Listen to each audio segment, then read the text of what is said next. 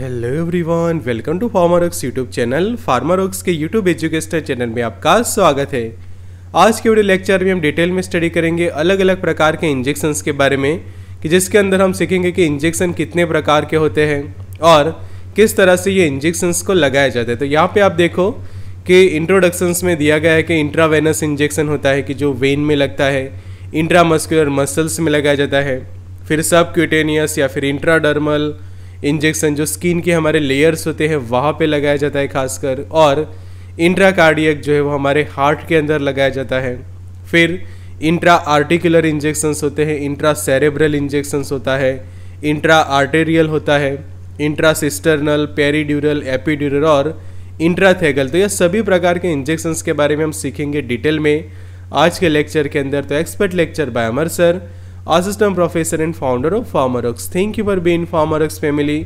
सीखिए अलग अलग बीमारियों के बारे में उपचार के बारे में अलग अलग प्रकार के दवाइयों के बारे में इंजेक्शंस के बारे में मेडिसिन कोर्स में फार्मारोक्स के ऊपर तो मेडिसिन कोर्स में आप सीख सकेंगे अलग अलग दवाइयों के बारे में उनके बेसिक यूज़ उनके डोज क्या होते हैं side effect warning contraindication एक साल तक अफोर्डेबल प्राइस में फार्मारॉक्स के ऊपर तो मेडिसिन कोर्स को ज्वाइन करने के लिए मैं व्हाट्सएप करें nine zero one six three one two zero two zero पर या फिर हमारी ऐप को डाउनलोड करें। तो अब समझते हैं पेरेंट्रल्स के बारे में कि जो इंजेक्शन जो है वो पेरेंट्रल प्रिपरेशंस के कैटेगरी में आते हैं। तो पेरेंट्रल का मतलब आप सबसे पहले समझ लो, पेरेंट्रल का मतलब होता है कि आउटसाइड ऑफ़ द इंटेस्टाइन। मतलब कि ये ऐसे मेडिकेशंस हम डिलीवर करते हैं पेशेंट्स को कि वो इसके इंटेस्टाइन या फिर उसके स्टमक या फिर उसके गैस्ट्रो इंटेस्टाइनल ट्रैक जो है पूरा उसमें ये मेडिकेशन नहीं है। बिकॉज़ आप देखो कि जो ओरली आप जो मेडिकेशंस लेते हैं टैबलेट वगैरह, या फिर कोई सिरप लेते हैं सस्पेंस लेते हैं तो जब आप ओरली लेते हैं तो वो आपकी इसोफेगस के थ्रू स्टमक में जाता है, वहाँ से आगे इंटेस्टाइन और पूरा जो हमारा गैस्ट्रो इंटेस्टाइनल ट्रैक है, उसमें वो मेडिकेशन ट्रैवल करती है। पर जो इंजेक्शंस होते हैं या फिर जो पेरेंट्रली जब मेडिकेशंस दी जाती है तो उसमें आप देखो कि वो बाईपास इफ़ेक्ट थ्रू जाती है। कि पैरा मतलब कि आउटसाइड और एंटेरन मतलब कि इंटेस्टाइन तो डायरेक्टली आपके सिस्टमिक सर्कुलेशन में ये मेडिकेशन जाती है, जैसे कि ये इंजेक्शंस जो है वो वेन में लगाया जाता है मसल्स में लगाया जाता है स्किन के अलग अलग लेयर्स में लगाया जाता है और स्पाइनल कॉर्ड्स के अंदर भी स्पेशलाइजेशन के थ्रू ये मेडिकेशंस को जो है वो लगाई जाती है. तो पेरेंट्रल मतलब कि ऐसे मेडिकेशंस या फिर इस तरह से दी गई कोई मेडिकेशंस की वो डायरेक्टली आपके सिस्टमिक सर्कुलेशन में पहुँचती है और वो गैस्ट्रो इंटेस्टिनल ट्रैक जो है हमारा या फिर एलिमेंट्री जो कैनल है, उसको एवॉइड करके आपके बॉडी के अलग अलग सेल टिश्यूज़ और ऑर्गन सिस्टम तक ये मेडिकेशंस पहुँचती है। तो पेरेंटल प्रिपरेशंस जो होती है, वो स्टेराइल होती हैं, वो सॉल्यूशन होते हैं सस्पेंसन होते हैं या फिर एक्वियस या फिर ऑयली व्हीकल्स में होते हैं कि आप खास कर देखो कि इंजेक्शंस के साथ आई दिया होता है कि जिसको कहा जाता है वाटर फॉर इंजेक्शन तो खासकर बहुत सारे इंजेक्शन जो है वो वाटर में बनाए जाते हैं स्टेराइल वाटर में, और कुछ ऑयली व्हीकल्स के अंदर भी ये इंजेक्शंस को बनाया जाता है। तो इंजेक्शन सबसे पहले जानना चाहिए कि क्यों दिए जाते हैं बिकॉज़ टैबलेट के आपके पास ऑप्शन है सिरप के ऑप्शन है। पर कई बार ऐसी कंडीशन होती है कि पेशेंट जो है वो स्वेलो नहीं कर पाता मेडिकेशन को उसको नोजिया वॉमिटिंग हो रही है, उल्टी हो रही है बहुत ज़्यादा तो उस वक्त वो ओरली मेडिकेशंस नहीं ले पाएगा। पेट में कोई इरिटेशन होता है मेडिकेशंस लेने से तो वो ना ले पाए और पेशेंट समझो कि इस तरह से अनकॉन्शियस है। बेहोश है पेशेंट तो उस वक्त वो टैबलेट या फिर किसी दूसरी तरीके से ओरली मेडिकेशन नहीं ले पाएगा। तो उस वक्त बेस्ट ऑप्शन रहता है कि आप उसको इंजेक्शन से मेडिकेशन दे, कि आईवी ड्रिप या फिर इंट्रामस्कुलर या फिर बहुत सारे जो अलग अलग इंजेक्शन के टाइप है, उसके थ्रू ले सकते हैं। तो बेनिफिट्स क्या है? इस तरह से इंजेक्शंस लेने से। तो जो अभी हमने देखा कि पेशेंट ऐसी बीमारी में है कि वो समझे कि टैबलेट नहीं खा पाता तो उस वक्त डायरेक्टली वो ले सकता है। फिर दूसरी कंडीशन कि मेडिकेशन जो है वो बहुत ही फास्ट एक्शन देती है, कि जब आप वेन में देते हैं तो वो मेडिकेशन जो टैबलेट के कंपेयर में, उसकी इफ़ेक्ट भी आपको जो है वो फास्ट मिलती है, कि जो फास्ट ऑनसेट ऑफ़ एक्शन की जो बात कही जाती है रैपिड ऑनसेट ऑफ़ एक्शन की जो बात कही जाती है तो उसके लिए भी पेरेंट्रल जो है वो काफ़ी इफ़ेक्टिव साबित होता है। और और साथ ही कि अगर कोई पेशेंट ओरली नहीं खा पाता मेडिकेशंस तो उस वक्त इंजेक्शंस का हमारा बेस्ट ऑप्शन रहता है। तो प्राइमरी हम समझेंगे intravenous intramuscular subcutaneous intradermal and intracardiac and intra arterial के बारे में। तो इंट्रामस्कुलर के बारे में ऐसा कहा जाता है कि मेडिकेशंस जो है वो डायरेक्टली हमारे मसल्स के अंदर पहुंचाई जाती है। मसल में ये इंजेक्शन जो है वो दिया जाता है और उसके लिए जब इंजेक्शन लगाया जाता है तो जो एंगल होता है, वो 90 डिग्री एंगल रखा जाता है कि यहाँ पे समझो कि ये स्किन का लेयर है आपका और ये इंजेक्शन है। तो दोनों के बीच में जो है वो 90 डिग्री एंगल जो है वो बनता है। उस तरह से लगाया जाता है। सब क्यूटेनियस की हम बात करें तो वो 45 डिग्री एंगल जब बनता है तो इस एंगल से उसको इंजेक्ट किया जाता है कि जो स्पेशली आपके जो सब क्यूटेनियस लेयर होता है स्किन का, वहाँ पे मेडिकेशंस डिलीवर की जाती है। फिर इंट्राडर्मल जो मेडिके जो इंजेक्शन होता है, वो खासकर 10 से लेकर 15 डिग्री पे लगाया जाता है कि जो आपके एपिडर्मिस या फिर डर्मिस का जो लेयर होता है, वहाँ पे मेडिकेशंस को रिलीज़ करता है और इंट्रावेनस इंजेक्शन जो खासकर 25 डिग्री से लगाया जाता है कि जो आपके वेन के अंदर मेडिकेशंस को पहुँचाती है और वो काफ़ी फास्ट एक्शन देती है। तो उसके अलावा दूसरे भी कुछ टाइप है। इंट्रा सिस्टर्नल है पेरीड्यूरल है epidural intra articular intra cerebral intrathecal वो भी हम आगे डिटेल में सीखते हैं। तो इंट्रावेनस आप यहाँ पे जो आप देख रहे हैं तो खासकर ये वेन को टारगेट करता है और ये जो नीडल होती है, वो डायरेक्टली आपके वेन के अंदर जाती है और वो 25 डिग्री एंगल के से उसको खासकर लगाया जाता है कि जिससे डायरेक्टली जो आप आईवी सेट तैयार करते हो या फिर डायरेक्टली इंजेक्शन लगाते हैं तो वो पेशेंट के वेन के अंदर मेडिकेशंस जो है वो रिलीज़ होती है और फिर वो ब्लड स्ट्रीम के अंदर मिक्स होकर पूरी बॉडी के अंदर वो दवाई जो है वो फैलती है। तो उसके लिए स्पेशली आईवी सेट प्रॉपर लगाया जाता है आईवी ड्रिप के लिए। तो यहाँ पे आपको पता है कि जो पूरा आईवी सेट आता है, कि जिसके अंदर प्रॉपर आप यहाँ पे देख सकते हैं कि कैथेटर होता है प्लास्टिक ट्यूब होती है और प्रॉपर ये असेंबली जो है वो सेटअप की जाती है कि जिससे पेशेंट को आईवी ड्रिप जो है वो लगाई जाए। तो इसके अंदर आप देखो कि फ़िल्टर होता है केस होता है कैप होती है केस के लिए कैथर्टर होता है, फिर प्री लुब्रिकेटेड नीडल भी होती है। तो उस तरह से प्रॉपर जो है वो एक्सपर्टाइज के साथ ये वेन में इंजेक्शन लगाया जाता है। और उसके लिए आप यहाँ पे जो आप देख रहे हैं कि अलग अलग साइज़ की जो नीडल्स यूज़ की जाती है इंजेक्शन की लाइक आईवी के लिए आप देखो तो 22 या फिर 20 गेज की नीडल्स यूज़ की जाती है। आईएम के लिए ये गेज नंबर होते हैं 20 से लेकर 24 तक की और सब क्यूटेनियस के लिए 20 से लेकर 26 जी तक के अलग अलग गेज नंबर वाली नीडल्स जो है वो यूज़ की जाती है। तो इंट्रामस्कुलर के बारे में आप यहाँ पे देख रहे हैं कि जो 90 डिग्री जैसे ऑलरेडी भी हमने सीखा था कि ये इंजेक्शन डायरेक्टली आपके मसल्स के अंदर जा रहा है, ये वाला जो लेयर है वो मसल्स का लेयर है और ये जो एंगल बन रहा है, वो 90 डिग्री बन रहा है और मेडिकेशन जो है वो थोड़ा स्लोली स्लोली रिलीज़ की जाती है। खासकर एक्वियस इंजेक्शन सबसे ज़्यादा यूज़ किया जाता है कि आपने देखा होगा कि जो डाइक्लोफेनिक का जो इंजेक्शन आता है, जो पेन किलर के तौर पे है, वो भी सबसे ज़्यादा मसल्स में प्रेफर किया जाता है। पेन को रोकने के लिए जो पेन किलर के तौर पे लगाया जाता है कि जिसके पॉपुलर मार्केटेड फॉर्मुलेशन जैसे कि डायनापार वगैरह है वोवेरान इंजेक्शन है। फिर सब क्यूटेनियस इंजेक्शन की जिसको एस सी इंजेक्शन कहा जाता है कि जो हमारे स्किन का एक फैटी लेयर होता है, यहाँ पे आप देखो, ये नीडल यहाँ तक पहुँची है। तो ये हमारी सब क्यूटेनियस टिश्यू कही जाती है बॉडी की, और ये इंजेक्शन 45 डिग्री एंगल से लगाया जाता है। और यहाँ पे भी ड्रग जो है वो काफ़ी फास्ट एब्जॉर्ब होती है बट ध्यान ये रखना है कि ये मसल्स तक ना पहुँचे। इसीलिए एंगल जो है वो 90 के बजाय 45 डिग्री कर दिया जाता है। कि मेडिकेशंस जो है वो सब क्यूटेनियस लेयर को ही जो वहाँ पे मेडिकेशंस रिलीज़ हो। कि, और इसका एग्जांपल है इंसुलिन कि जो इंसुलिन का जो इंजेक्शन खासकर लगाया जाता है, वो सब क्यूटेनियस इंजेक्शंस के तौर पे ही लगाया जाता है। तो प्रॉपर एक्सपर्टाइज की इसमें भी ज़रूरत होती है कि जो पर्सन सब क्यूटेनियस इंजेक्शन लेता है तो उसको ट्रेन भी किया जाता है प्रॉपरली और ख़ासकर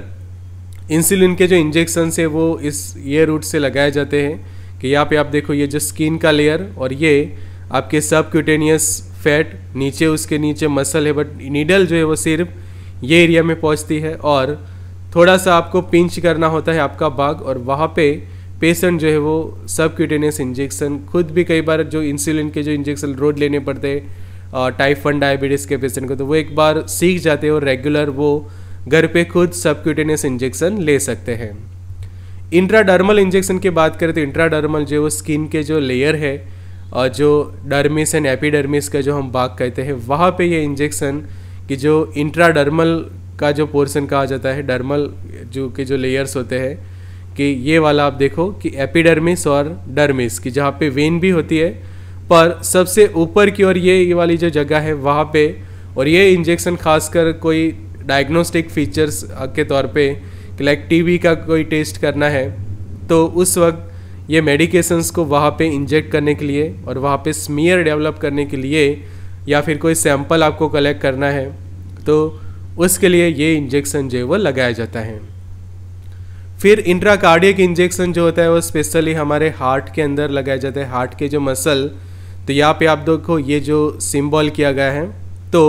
वो रीजन में प्रॉपरली एक्सपर्ट्स के द्वारा ये इंजेक्शन जो है वो आपके डायरेक्टली हार्ट के मसल्स में ही लगाया जाता है या फिर जो वेंट्रिकल्स होते हैं हार्ट के, वहाँ पे ये इंजेक्शन को लगाया जाता है स्पेशली इमरजेंसीज जो होती है कार्डियक इमरजेंसी उसमें ये मेडिकेशंस लगाए जाते हैं और नीडल जो है वो इंसर्ट की जाती है पैरा स्टर्नली जो लेफ़्ट जो हमारा लेफ़्ट साइड का fourth and fifth intercostal space होती है कि यहाँ पे जो सिंबल से दिखाया गया है, वहाँ पे जो है वो प्रॉपर ये इंजेक्शन एक्सपर्ट्स के द्वारा लगाई जाती है। और इसका एक एग्जांपल है एपिनेफ्रिन का इंजेक्शन कि जब किसी को कार्डियक अरेस्ट आता है हार्ट अटैक के जो कॉम्प्लिकेशंस आते हैं तो उस वक्त जो इमरजेंसी में ये इंजेक्शन जो है वो पेशेंट को जो वो लगाया जाता है एपिनेफ्रिन वगैरह का तो वो एक इंट्रा कार्डियक इंजेक्शन का ऑप्शन है कि डायरेक्टली आपके कार्डियक मसल्स के अंदर ये लगता है। और उसके लिए हम बात करें तो नीडल जो है वो 1.5 इंच की खास कर रहती है और उसका जो गेज नंबर होता है 18 या फिर 22 गेज नंबर की नीडल्स जो है वो इसमें यूज़ की जाती है। फिर बात आती है इंट्रा आर्टेरियल इंजेक्शन खास यहाँ पे अच्छे से आप रीड करो। आर्टेरियल मतलब कि जो हमारी आर्टरी होती है कि ब्लड वेसल्स हमारे दो तरीके की हैं। एक होती है वेन और दूसरा आर्टरी तो जो वेन में इंजेक्शन होता हो, लगाया जाता है उसको हम इंट्रावेनस कहते हैं। उसी तरह से जो आर्टरीज में इंजेक्शन लगाया जाता है उसको इंट्रा आर्टेरियल कहा जाता है। तो ये इंजेक्शन खासकर जो वासोडाइलेटर ड्रग होते हैं समझे कि वासोस्पाजम्स के जो प्रॉब्लम है उसके दौरान डायरेक्टली लगाए जाते हैं या फिर थ्रोम्बोलाइटिक ड्रग्स जो होती है एम्बोलिज्म के इलाज में जो है वो लगाई जाती है। तो बहुत सारे अलग अलग जो कीमोथेरापी के दौरान या फिर बहुत सारे अलग अलग ऐसे कुछ इमरजेंसी कंडीशन और बहुत रेयर कंडीशन में ये इंजेक्शन जो है वो लगाया जाता है। अब बात आती है इंट्राथीकल इंजेक्शन की। थीकल का पोर्सन मतलब कि आपका स्पाइनल कॉर्ड का जो रीजन होता है, वहाँ पे ये इंजेक्शंस लगाए जाते हैं कि स्पाइनल कॉर्ड के जो अलग अलग रीजन्स होते हैं, वहाँ पे स्पेशली जो सेरेब्रोस्पाइनल फ्लूड होता है और वहाँ पे ये इंजेक्शन स्पेशली जो एनेस्थेसिया मेडिकेशन से या फिर कीमोथेरापी के दौरान जो मेडिकेशंस लगानी होती है पेन मैनेजमेंट के लिए जो मेडिकेशंस लगानी होती है तो वो जो सब अराचिनोइड जो स्पेस होती है कि जो सेरेब्रोस्पाइनल फ्लूड जहाँ पे प्रेजेंट होता है तो वहाँ पे ये इंजेक्शंस जो वो पेशेंट को लगाया जाता है कि जो से, सेम स्पेस आपके ब्रेन के लेयर्स में भी होती है और सेम स्पेस आपके स्पाइनल कॉर्ड में भी होते हैं तो वहाँ पे ये इंट्राथिकल इंजेक्शंस लगाए जाते हैं। फिर बात आती है इंट्रा इंट्रासिस्टर्नल इंजेक्शन की तो ये इंजेक्शन जो है वो फ़र्स्ट एंड सेकंड जो सर्विकल नर्व होती है, वहाँ पे जो ये वो खासकर लगाया जाता है, और जो सब अरेचेनोइड सिस्टर्न का जो पोर्शन कहा जाता है हमारे ब्रेन के अंदर तो वहाँ पे प्रॉपर एक्सपर्ट जो है वो इंट्रासिस्टर्नल इंजेक्शंस को लगाते हैं। फिर एपीड्यूरल और पेरीड्यूरल की हम बात करें तो एपीड्यूरल इंजेक्शन जो है वो सर्विकल थोरासिक या फिर जो लंबर एरिया होता है स्पाइनल कॉर्ड का, वहाँ पे स्पैर जो स्टेरॉइड्स के जो इंजेक्शन होते हैं वो खासकर लगाए जाते हैं कि जो एपीड्यूरल स्पेस जो कही जाती है, वहाँ पे ये लगाए जाते हैं कि जो स्पेशली टेम्पररी पेन रिलीफ के लिए एज वेल एज सूजन को कम करने के लिए जो आपके स्पाइन एरिया में हो रहा है स्पाइनल कॉर्ड के एरिया में तो उसको कम करने के लिए एपीड्यूरल इंजेक्शन होते हैं और वो भी प्रॉपर एक्सपर्ट्स के थ्रू ही लगाए जाते हैं। पेरीड्यूरल की हम बात करें तो जो स्पेस होती है dura dura mater and inner aspect of जो वर्टिब्रा होता है, वहाँ पे ये इंजेक्शन के, यहाँ पे आप देखो, ये ड्यूरा ड्यूरामेटर का भाग है और एपीड्यूरल स्पेस जो होती है विथ एनेस्थेसिया तो खासकर एनेस्थेसिया इंजेक्शंस लगाने के लिए ये पैरेड्यूरल स्पेस जो वो यूज़ किया जाता है कि अगर कोई पेशेंट की सर्जरी है, कोई ऑपरेशन करना है तो उससे पहले जो एनेस्थेसिया मेडिकेशंस जो यूज़ करनी होती है तो उसके लिए ये पैरेड्यूरल इंजेक्शन जो वो एक्सपर्ट्स लगाते हैं। फिर इंट्रा आर्ट्रिकुलर जो इंजेक्शन है, कि जो आपके आर्टी आर्टिकुलर जो एरिया होता है, कि जो नी जॉइंट का जो एरिया होता है, वहाँ पे आप जो इंजेक्शंस में देख सकते हैं, कि जो स्पेशली जो हमारा नी जॉइंट होता है वहाँ पे जो जॉइंट पेन का प्रॉब्लम है आर्थराइटिस के जो पेशेंट्स होते हैं तो उनके लिए ये इंजेक्शंस लगाए जाते हैं, खासकर जो स्टेरॉइड्स दवाइयाँ होती है कॉर्टिकोस्टेरॉइड उनके ये इंजेक्शन या फिर local anaesthetic hyaluronic acid even जो बोटॉक्स इंजेक्शन आता है, वो भी यहाँ पे जो है वो पेशेंट्स को लगाया जाता है। तो इसको नी इंजेक्शंस भी कहा जाता है और बहुत सारे अलग अलग इंजेक्शन जैसे कि इन्फ्लिक्सिमेब जो इंजेक्शन एक मोनोक्लोनल एंटीबॉडी है, फिर बोटुलिनियम न्यूरोटॉक्सिन्स जो होते हैं बोटॉक्स इंजेक्शन जो होता है, वो भी यहाँ पे लगाया जाता है। प्लेटलेट रिच जो प्लाज्मा होता है, वो भी यहाँ पे लगाया जाता है। एंड हाई एल्यूरोनिक एसिड जैसे मेडिकेशंस जो है, वो ये रूट से जो वो लगाए जाते हैं कि जिसको हम कह सकें कि आपके नी जॉइंट के अंदर कोई इन्फेक्शन है और वहाँ पे कोई बीमारी है तो उसके लिए ये इंजेक्शन जो है, वो खासकर लगाया जाता है, जिसको इंट्रा आर्टिक्यूलर इंजेक्शन हम कहते हैं। फिर बात आती है इंट्रा सेरेब्रल इंजेक्शन। तो ब्रेन का जो सेरेब्रल का जो प्रोडक्शन होता है और जो सेरेब्रल वर्टिकल्स होते हैं कि जहाँ पे खासकर सेरेब्रोस्पाइनल फ्लूड होता है तो ब्लड ब्रेन बैरियर जो होता है उसको बाईपास करने के लिए डायरेक्टली ये इंजेक्शंस जो है वो इंट्रा सेरेब्रल जो रीजन होता है, वहाँ पे जो है वो ये मेडिकेशंस लगाए जाते हैं कि जिसको आई सी वी इंजेक्शंस भी कहा जाता है। तो यहाँ पे आप देख सकते हैं जो वेंट्रिकुलर सिस्टम जो होती है स्पाइनल कॉर्ड का ये रीजन और ये जो आ, कलर किया हुआ पोर्शन आप देख सकते हैं लाइट ब्लू कलर तो ये रीजन्स को हम खासकर कहते हैं इंट्रा सेरेब्रो वेंट्रिकुलर इंजेक्शंस के जो स्पेस होती है या फिर सेरेब्रल वेंट्रिकुलर कल्स के जो स्पेस होती है वहाँ पे